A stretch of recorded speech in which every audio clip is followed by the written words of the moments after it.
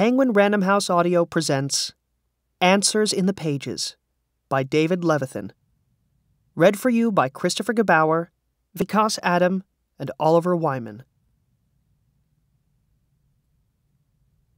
For Nancy Garden, I, like so many others, am proud to have followed your loving path, hoping to leave many paths behind us both. 1.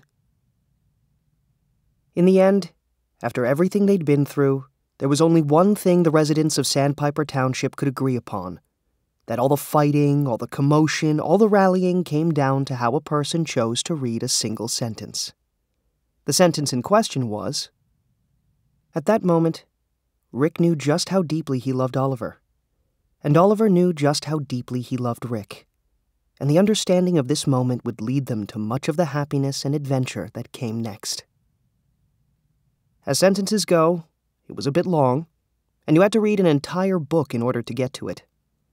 Many of the residents of Sandpiper Township wouldn't have noticed it if it had been said during a TV show or appeared as a quote in the middle of a newspaper article. But because it was the last line of The Adventurers, and because the adventurers had been assigned in Mr. Howe's fifth grade class, people did take notice. Only one person at first, then considerably more. It's worth reading the sentence again before I begin to tell you what happened. At that moment, Rick knew just how deeply he loved Oliver. And Oliver knew just how deeply he loved Rick. And the understanding of this moment would lead them to much of the happiness and adventure that came next. It would be a good idea for you to stop and consider what you think about this sentence. This will be the last time you get to hear it without other people telling you what they think about it. That's how it was in Sandpiper Township that November. I know this because I was one of the first people in Sandpiper Township besides Mr. Howe to read the sentence. Unfortunately, I didn't read it as soon as I could have. I brought the book home with me and only read the first few pages. Then I left it on the kitchen counter and went to eat a snack in front of the TV. From there, it only took an hour for my life to spiral out of control. 1. Gideon White was only really, really good at two things playing with words and collecting turtles. Of the turtles, only one of them, Samson, was an actual living, breathing, as much as turtles could be seen breathing, turtle.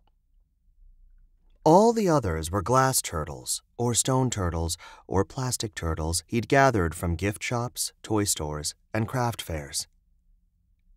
As for the words Gideon played with, most of them were living and breathing too. But Gideon often felt he was the only person who noticed this. Right now, it was Gideon's job to feed the only living, breathing turtle in his room and to dust all the others. Gideon's mother claimed to be allergic to dust, which Gideon thought was an exaggeration, since dust was everywhere, and if she were truly allergic to dust, she'd be coughing or sneezing or wheezing every second of every day. Instead, all she really did was complain about the dust, even when it wasn't there. Samson was not Gideon's best friend, but he was definitely the friend Gideon trusted most. A lot of this had to do with the fact that Samson was a turtle and couldn't talk. Gideon's other two best friends, Joel and Tucker, talked all the time. He couldn't tell Joel anything without Tucker finding out about it, and vice versa. Which saved Gideon some time not having to explain things twice but it was still annoying that he had to assume anything he said would echo beyond where it was meant to go. Joel and Tucker were both in Ms. June's fifth grade class. The alphabet had allowed them to sit next to each other while Gideon was banished to the back row. When Debbie Weiss had left class because her father got a job in Arizona, Gideon thought he'd at least be able to move up a row, which would have gotten him one desk closer to Tucker. But instead, Ms. June kept the space empty. Gideon didn't ask her why. he didn't ask Ms. June anything if he could avoid it. Gideon spent most of his time in class finding new words within the ones Ms. June wrote on the board. So if she wrote, history homework, he would scramble up its letters to find phrases like, my stork, or who is more Thor, or he took my sow. He might even try to turn multiple words into one simpler word, like histomwork. He'd do all of this in his head because early in the year he'd tried writing it all down, and Miss June had caught him doing it, and instead of thinking he was doing something smart, she treated him like he was doing something wrong. That had put an end to writing it down. Gideon was lost finding words in Benedict Arnold's name red coat, need cab, tied boar, when he felt the room around him pause which meant he needed to pay attention. He raised his head and saw a boy standing next to Debbie Weiss's old desk. The boy had shaggy hair and a bright green shirt, and looked at Gideon for a second before sitting down. Gideon had no idea who this boy was, and from looking around, he realized that Miss June had just introduced him to the class, and Gideon had missed it entirely. For the next half hour, Gideon stared at the back of the boy's head and tried to figure out his last name. Since Dana Wachtel was sitting in front of the boy, Gideon assumed the last name had to be alphabetically located somewhere between Wachtel and White. Warner, Watson, Webster, Weeble, Westing, Wheelmaker? Whippoorwill. Gideon tried to sneak a look inside the boy's book bag to see if there was a name on anything in there. But it was zipped closed. The boy was sitting up straight, paying attention to Miss June. Or maybe just appearing to pay attention. Because Gideon could see the top right corner of the boy's notebook. He watched as the boy drew a cat, then a bull, then a rabbit, then a turtle.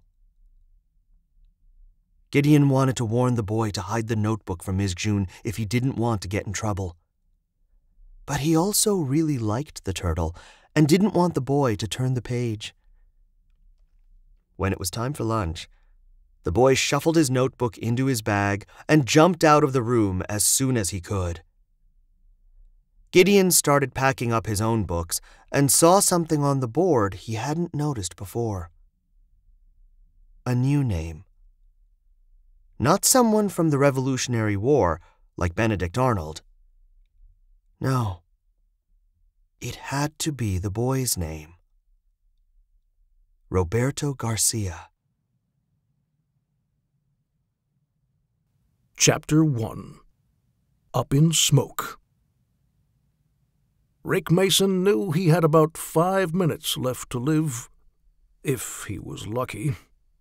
There was something about being handcuffed to a chair in the heart of an abandoned building about to be set on fire that forced him to focus. It didn't matter that Rick was only twelve years old. His mind often felt much older than that, and at this moment it only had one purpose to get him out of that house. It had been a mistake to come to the mansion alone, and an even greater mistake to let his guard down for even a second. Of course, McAllister had sent his bodyguards to do the dirty work. By the time Rick had heard the telltale lunge of boots, the crowbar was already swinging toward his head. They could have done away with him then. But clearly McAllister wanted Rick to experience a more elaborate death than a simple pummeling. Rick was starting to smell the smoke now.